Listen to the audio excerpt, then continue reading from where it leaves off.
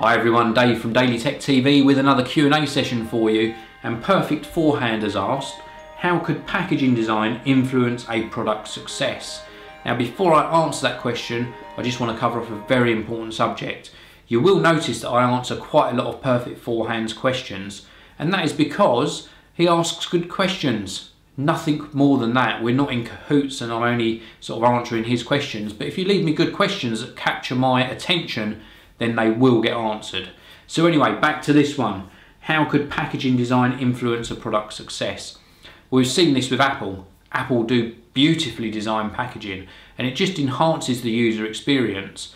And I hate to say this, but Joe Public, including myself, if you see something that's packaged really nicely, it pulls in your attention, much like my comment about the good questions.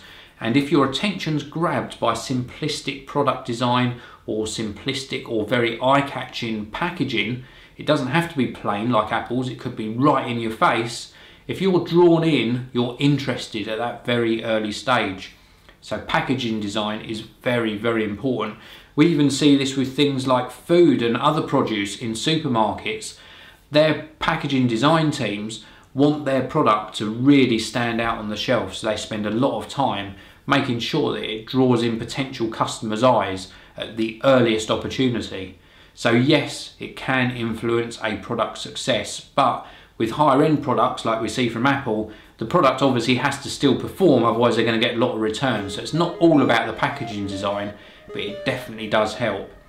Brilliant question. Thank you very much for leaving that question. If you've got any new ones, leave them in the comments below. Please do give me a thumbs up on this video. Please do hit subscribe and I will see you all in the next one.